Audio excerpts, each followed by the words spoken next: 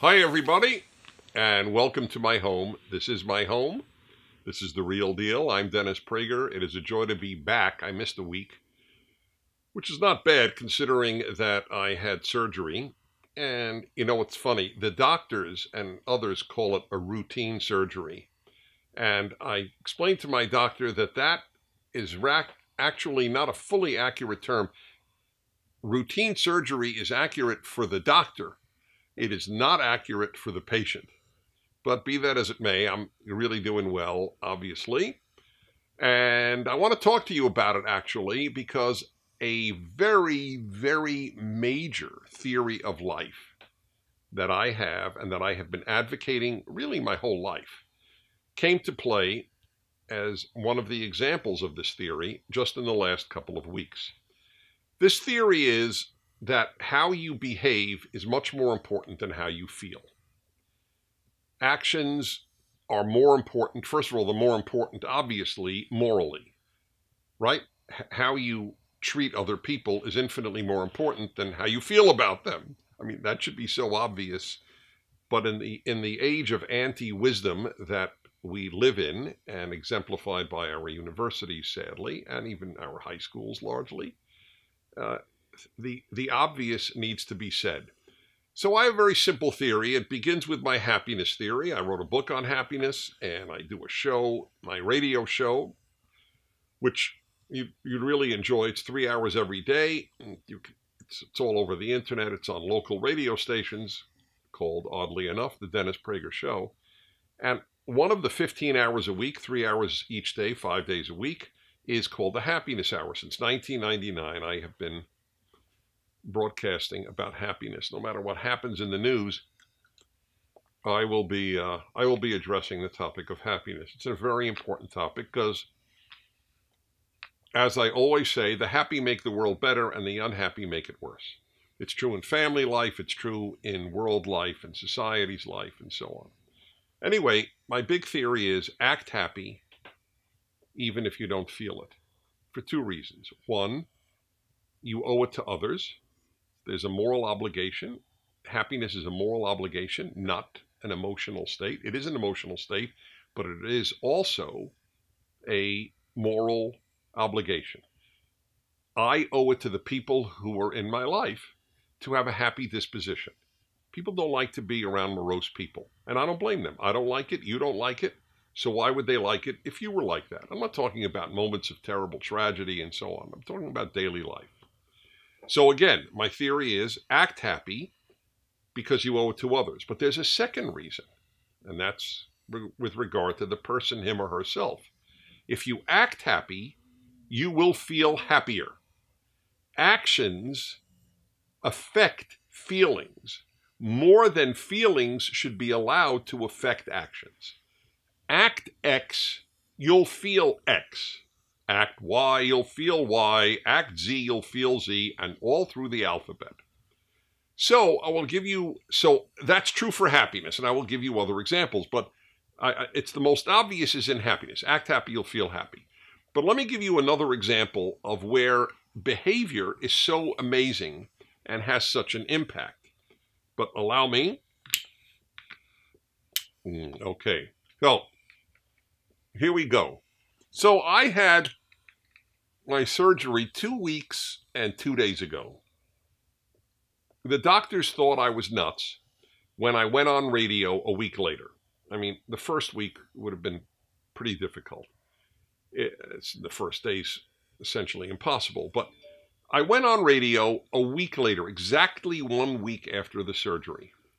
And the, you know, the, as I said, the doctors thought it was it was quite premature.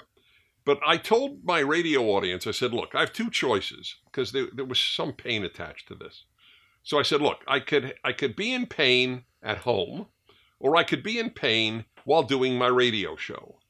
I'd rather be in pain while doing the radio show than just be in pain at home, because among other reasons, I feel an obligation to my audience, but uh, but that's one of them. But the the other is I know that if I'm concentrating on the radio show, I will feel less pain. That's exactly what happened. For three hours a day, I was in less pain because my mind was totally focused on the radio show. The moment the show ended, I remember, hey, oh yes, I'm in pain. I forgot. It was a great example of behaviorism. This is my theory of life that actions are more important than feelings. Actions overwhelm feelings. So I acted in accord with my theory. I broadcast my radio show despite the pain, knowing that doing that would make me feel better. By the way, I'll just tell you an interesting thing. When I've gone through difficult times, and every human being goes through difficult times, when I went through difficult times in my life, I still broadcast my happiness hour, and I give you my word, I was happier because of the happiness hour. It affected me just as I hope it affects my audience. That's how powerful behavior is. And I'll give you another example. So I gave you the example of pain. I gave you the example of happiness. I'll give you another example. People often ask me, because I'm very serious about religion and God, well, you know, I, I, I, I just can't believe, and, you know, and I understand that completely. And my theory is listen, if I can convince you on what a better life you'll have, if you if you do believe in God with all the doubts, every believer has doubts. You know what? Mark that down. I want to talk about uh, that one day about how doubting is part of faith. It's it's, a, it's not a problem, but I can convince you. I can't convince you of any proof that there is a God. There's no proof that there is a God. They're just extremely powerful arguments. But I think I can convince most open-minded people that God is in a, is a necessity because without if there's no god there's no ultimate meaning in life this is all just a coincidence you and i are just stellar matter. That's all we are. Ask the scientists. They'll say oh human being is just matter. And when we die the matter you know goes back into nature and that's the end. It's over. Oblivion for eternity. So this life is a fluke but i don't think it's a fluke. I think there was i think there was a god and there was ultimate meaning. And also for morality, which I've talked about a great deal. Many of my PragerU videos are with regard to, or some of my PragerU videos are with regard to this, about God as the, the basis of the Ten Commandments and so on. And, you know, morality is just opinion if there isn't ultimately a God who says X is wrong and Y is wrong and Z is wrong. Okay. But still, people say, yeah, but I, I can't believe, or I don't, you know, I, I can't, or, or, you know, I don't want to go to church, I don't want to go to synagogue, whatever it might be. So here is my theory, and I think you should take up my challenge. If acting happy makes you happier, if acting like you don't have pain actually reduces your pain, then maybe acting religious will make you feel religious. Just be a behaviorist. Give it a year's try. Okay? And and see what happens.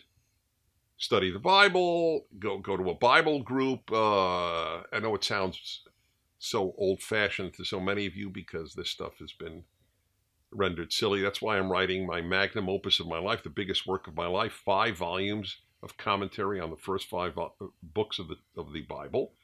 The first one is out. It's called The Rational Bible and uh, I, I, think it'll change your life. Read the reviews on Amazon on the Rational Bible. I'm sorry, I, I hate sounding like I'm selling you a book, but nobody writes a Bible commentary to get rich.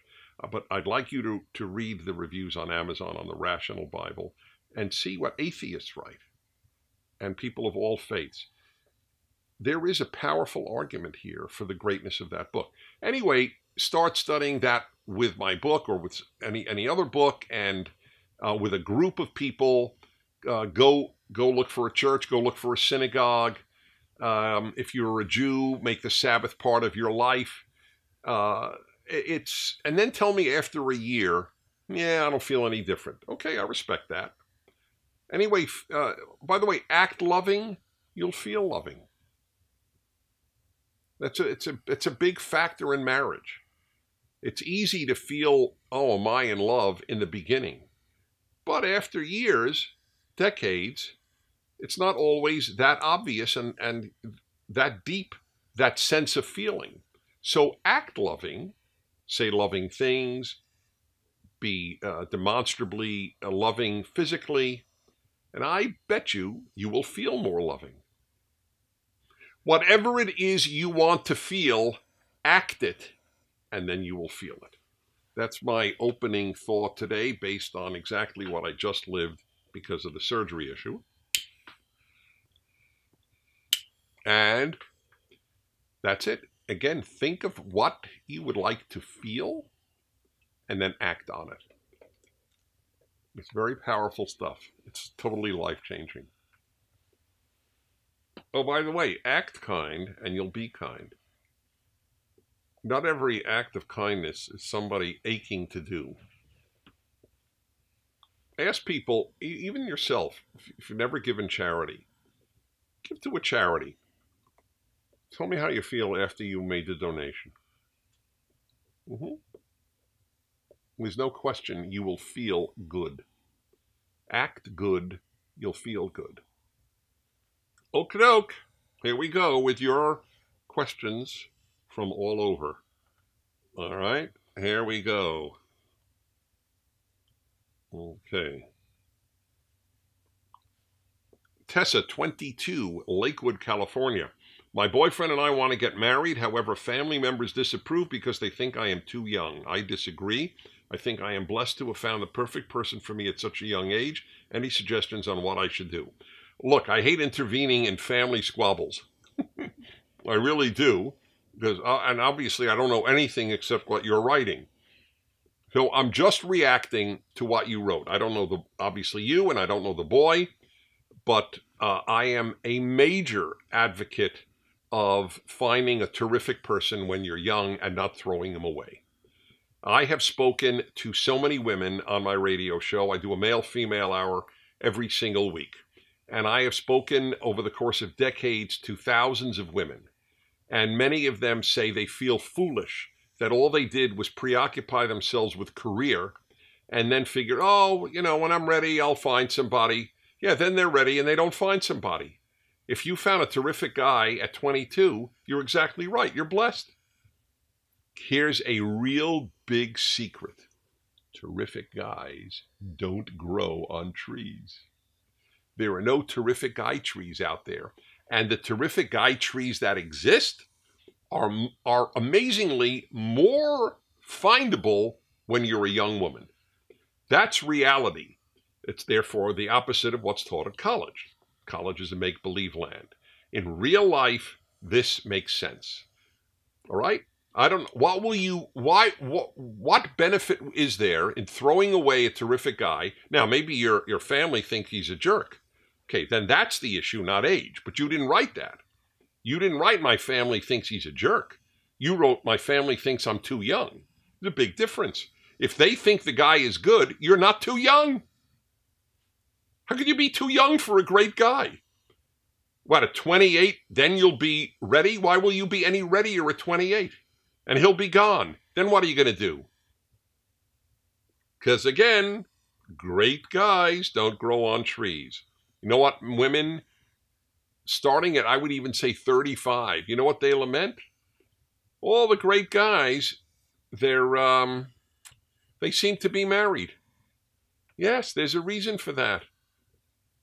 There's a reason for that. Because great guys get married sooner than jerks do, and because marriage makes guys great. These are all generalizations. There are exceptions to every generalization. That's the way life works. Good luck. Trevor, 19, Gettysburg, Pennsylvania. If people are inherently bad, how can we trust them to own guns? Well, there are many answers to that, and it's a great question you might as well ask if people are inherently bad, why allow them knives? Why allow them cars? They could just run over people. I mean, why is the question any different with regard to any other inanimate object that, that can hurt people? If people are inherently bad, why allow them axes? Right? Because, first of all, I don't think people are inherently bad. I don't. I what my argument has always been people are not inherently good. I think we're in the middle. But I think goodness, like gold, needs to be mined. badness comes out naturally, goodness needs to be mined. There are a lot of good people on the face of the earth because they have good values and they live by them. These are the, exactly the people I want to be armed. Because since bad people have arms, the only real good counter to bad people having arms is good people having arms. That has been true for all of human history. Okay, I hope that answers your question. Danny, 26 in Amsterdam. Oh, you know what? What do I know in Dutch? Spreek Hollands. Not bad, huh? Means I speak Dutch. Hey, I got a story for you. Uh, you gonna you you is in Pragerforce? Danny's in Pragerforce? That's great. I got a great story for you, Danny. You'll love this, especially being Dutch. So when I was 18 years old, we had in those days World's Fairs. They were great things. We had countries from all over the world and corporations would have their beautiful, they'd make beautiful, elaborate, I, I want to say booth, but it's much more than a booth. I don't know what the word, pavilion, whatever would be. So Parker Pen Company is a very big, uh, is a big pen company. They made a uh, pavilion or booth. Um, given that they were a pen company, that was to get a pen pal anywhere in the world. That's what it was. Sign up, fill out your interests, your age. We'll give you a pen pal somewhere else. And I thought, I'd love that. I would love, I've always been interested in the world. And uh, so I'm 18 years old. Am I right? Was I 18? Yeah. And, oh, mm, yeah, I was in my late teens. Anyway, I signed up there. I wanted a pen pal. So I wrote my interests and so on. I didn't care where the pen pal was. And I got back the name of a person. Oh, by the way, this is the key point. But you wouldn't get someone of the opposite sex because they said we're, we're not here to make romance. We just want people to, you know, to find a boyfriend or a girlfriend. We're just here to have people communicate with somebody in another country as pen pals. Pen pals was where it went before computers and and uh, word processors, people would actually write letters. Does everybody know what a letter is? I, I of assume that that is that is uh, not most people. So anyway, I love the idea. I signed up and I get a name of, of a guy, presumably, of course, um, in Holland. The name was Steinecke. I'm not going to give the last name because the person I, I trust is still well and living in, in Holland.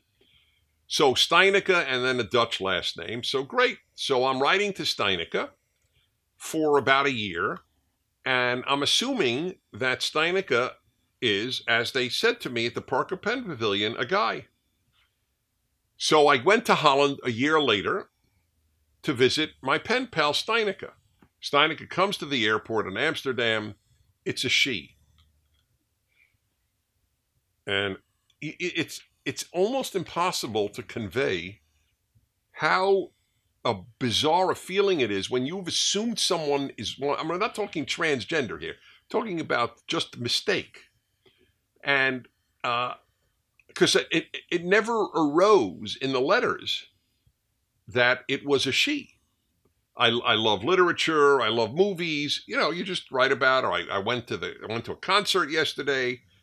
So you know, this is what I think about life. It wasn't like you know she ever wrote, "Oh, I have a boyfriend," or you know, or anything like that, or you know, my mother went and we, you know, I got a new dress. Nothing ever in, in, in insinuated that she it was a she. So it was the shock of my life, and I never told her. I didn't have the courage to say, whoa, this is not what I expected. And I don't know if it's a common name in Holland Steinecke, and I certainly never heard that name before. So how would I know that it wasn't a male? The, the Parker Pen Pavilion screwed up. No, didn't. No, no. I take it back. She deliberately wrote male because she wanted a male pen pal. But she never told me. But she never told me because she assumed I would know, like you know, if it's Mary, she doesn't have to say I'm a, I'm a female. Anyway, that's what happened. It's a great story. I then lived with her parents in uh, in uh, Amersfoort. I remember the street Griegstraat in Amersfoort. The the family treated me so well. They not only uh, did my laundry, which for a kid, you know, living on the road, that is such an unbelievable luxury. They even ironed my underwear. I will never forget that as long as I live. Ironed underwear. I felt bad putting it on. Anyway, great memories from that. I've been to Holland a lot of times, but that was a great memory. All right, got any tips for a young man that is about to be introduced to his girlfriend's father? Yeah, um, don't curse. you know what? How about this? Show up nicely dressed. You know, don't show up in a t shirt. Now, I know that this is dated advice, but just because it's dated doesn't make it wrong. I mean, I think the greatest book ever written is 3,000 years old. That's really dated. The notion that only new is right is idiocy, just idiocy. People before me had some wisdom. So I may have some wisdom that some in your generation don't have. You you can't in other words, what is the what is the price paid for looking nice when you show up to meet the father? Is it the father you said? Was that the father or just the family? What is it? Girlfriends. One second. I can't go backwards here. Girlfriend's father. Yeah. I, I you know, it means you take the meeting seriously. That's what showing up nicely dressed. I mean, you don't have to wear a suit and tie. That's overkill. But you, whatever nicely dressed means to you, that's what you should do. Secondly, uh, be real. Don't don't act. Be real. Uh, you you know it doesn't hurt to say how much you think about his you know how how highly you think about his daughter. Make but reassure him or assure him that you have plans in life. A father or a mother cares that their daughter will be, if she's thinking of being committed to a man in marriage, that the guy is, eh, is, is, has good ambition. I don't mean he's overly ambitious, not narcissistic, but has ambition. I, w- I would like to earn a living. I would like to support. My dream, sir, is to support your daughter and a family that hopefully we will have. If that doesn't work, uh, have your father call in to me, your your uh, her father. Okay. Next. David, 14 years old in Miami, Florida. How can I explain why the Bible is good and? Wait a minute. Except I skipped one. Sorry, I'll get to you, David. Greg, 61, Bridgeport, Ohio. See, we don't only take young people. Not that 61 is not young, but you get my drift. What do you think is the best way to help young adults to be receptive or at least open minded enough to consider conservative beliefs? That's a very hard question. I know exactly how to convince the open minded about the moral and intellectual superiority of conservative beliefs. That is all I do, in effect. Uh, that's what Prager University is there to do. But how do you convince someone to be open minded? That's, that's a real riddle. That's a tough one. If everybody were open minded, country would be in a much better condition. It's the indoctrination that begins in elementary school that is so frightening, and they're not open minded. If you're taught that conservative is the same as fascist, bigot, intolerant, homophobic, Islamophobic, xenophobic, and all the other phobics, then you're not open minded. You've been brainwashed. It's very hard. So I don't have a great answer for you. How do you, I know how to convince people who are open minded, but how do you convince people to be open minded? That's very tough. All right, back to you, David, 14 in Miami. How can I explain why the Bible is good and reliable to a girl who doesn't believe its infallibility because of its patriarchal views? Okay, first of all, I want to know what she means by patriarchal views. That's why I wrote my rational Bible. Be worth your your your studying it. You know, you know that how many disproportionate heroes in the uh, in in the Bible are female. It's amazing. It's just there are so many impressive women in the first five books of the Bible, the central five books for both Jews and Christians, the first five books, Genesis and Exodus and Leviticus and Numbers and Deuteronomy. There are so many female heroes that there are scholars who think that uh, a woman or women wrote the uh, Torah, the first five books. So that's that's not exactly in keeping with patriarchy. Anyway, the, the you know, I don't know of any law that says be patriarchal. And by the way, I don't, I don't even know what patriarchal means. Does patriarchal mean the, the belief that it would be a good thing if, if the man is regarded as the head of the household? I don't know a woman. Well, I take that back. I, I'm sure I do. But the most happily married women I know are married to men who want to be the head of the home. That doesn't mean the tyrant, the dictator, the ruler, but women like to look up to a man. That that's a turn on for a woman. If you don't think it's turn on for a woman, your girlfriend doesn't think that, that's very sad. So I even I need to know what does it mean? What does it mean patriarchy? The essential teaching of these of these books, as I put in again in my rational Bible, for example, it says honor your father and mother. It doesn't say just honor your father, which many other cultures did. And then it has a law a man shall fear his mother and father, puts the mother first before the father. She is the complete equal in the home, the mother. When it comes to human equality, it, it, it is clear. The woman is the last creation of God in Genesis. And everyone knows that creation goes upward, it develops. So, in a, in a certain sense, the highest creature God made is the female. Doesn't sound very patriarchal to me, does it? All righty. Rainier in Jakarta, Indonesia, 18 years old. What is your favorite drink when smoking a cigar? This is going to really disappoint you, Rainier. Really will. Soda water with lime. Even even as I say it, I have certain contempt for myself.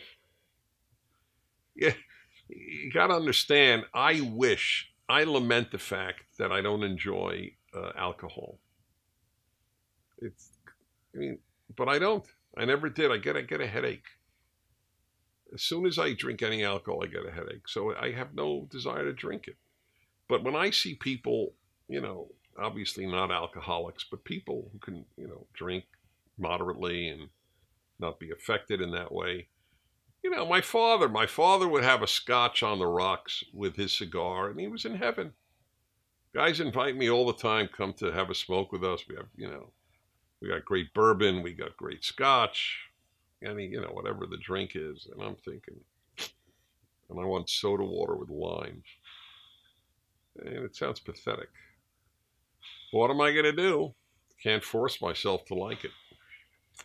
So, on that light note, how we doing? Is it good time? Yeah. Another question, or we're good on time? All right, everybody. Listen, I really enjoy doing this. It gives me a chance to relate to you one on one. There's no script here, nothing at all. It's completely spontaneous, and I could deal with uh, you know a lot of the real issues of life, not just politics and so on. Those are real issues, but they're not the only issues. So until next week, this is Dennis Prager. Please visit PragerU and see the wonderful and powerful videos that we put out that are five minutes each, prageru.com, and check out the Rational Bible. I, I, I promise it'll change your life. Until next week, bye bye.